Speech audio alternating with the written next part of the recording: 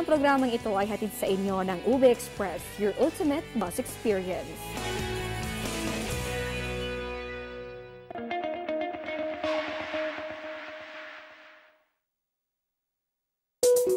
Ang ITCZ o Intertropical Conversion Zone ay isang imaginary line kung saan nagsasalubong ang dalawang magkaibang hangin.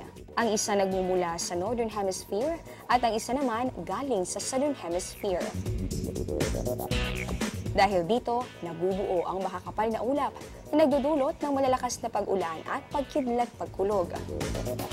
Kapag nagtuloy-tuloy ang pag-ulan, maaring maranasan ng pagbaha sa mababang lugar o pagguho ng lupa sa mga bulubunduking lugar. Ang ITCZ ay tinatawag ding breeding ground of low pressure area.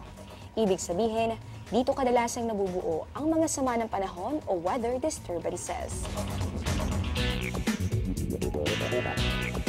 Good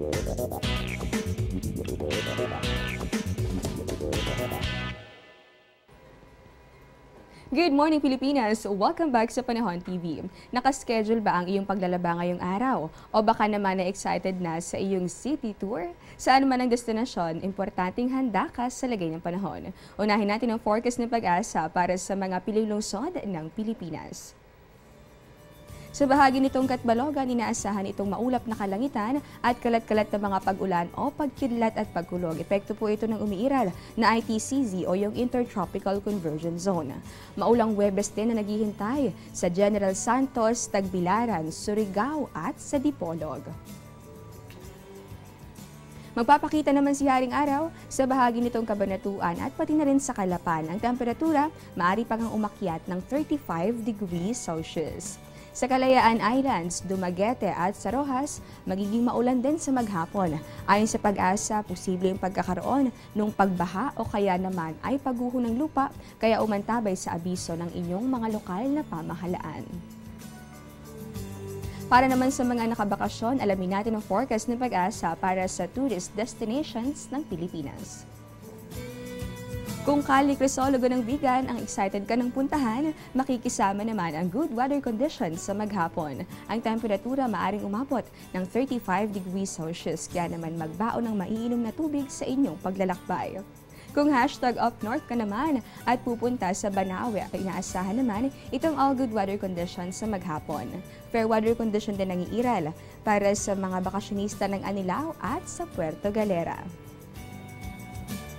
makikiayon din sa pamamasyal dito sa bahagi ng Taal itong good weather condition. Sa ating naman mga tagbusubaybay sa bahagi nitong Naga City, just barahay na aga sa inyong lahat aba napakaganda rin ng araw na inaasahan natin dahil fair weather condition naman ang bubungad sa atin.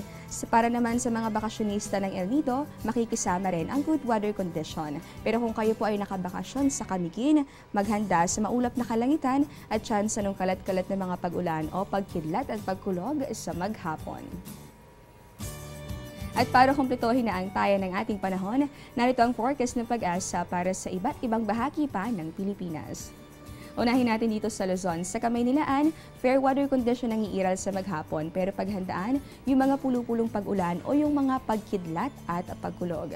Sa bahagi nitong Puerto Princesa sa Palawan, maulap ang kalangitan at nariyan yung chance ng mga kalat-kalat na pag-ulan sa mga susunod na oras. Sa natitirang bahagi pa nitong rehiyon, makikisama naman ang lagay ng panahon. Tingnan natin ang forecast ng pag-asa para naman sa Visayas areas. Maulang Webes ang naghihintay sa bahagi ng Tacloban, Iloilo, Bacolod at Metro Cebu. Inaasahang temperatura nasa pagitan ng 25 at maaari pa rin yung umakyat ng 32 degrees Celsius. Check natin ang forecast ng pag-asa para naman sa Mindanao. Mag-ingat at maging alerto sa posibilidad ng pagbaha o kaya ay pagguho ng lupa. Maulang panahon kasi ang naghihintay sa Cagayan de Oro, Metro Davao, and Zamboanga. Meron tayong temperatura na maaari pa rin umabot ng 32 degrees Celsius. Bukas nga ay umpisa na ng panibagong buwan. Ang panahon kaya ikaw ay pakikisamahan. Narito ang 3-day weather forecast mula sa pag-asa.